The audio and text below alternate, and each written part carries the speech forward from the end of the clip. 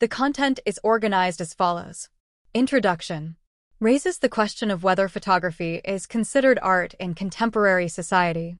Discusses the historical context of the debate surrounding photography as an art form. Historical perspectives on photography as art.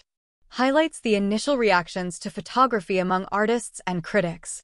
Explores the three main positions regarding the potential of photography as art describes the various ways artists reacted to the emergence of photography, including adaptation and rejection.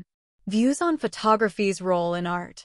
Examines differing perspectives on the value of photography to artists and its influence on artistic practices.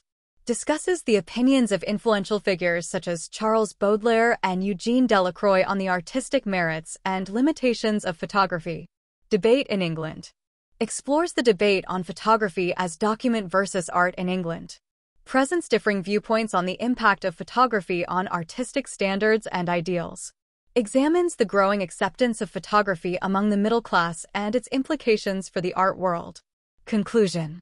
Summarizes the historical debate on whether photography qualifies as art, considers the influence of societal attitudes and technological advancements on perceptions of photography as an art form,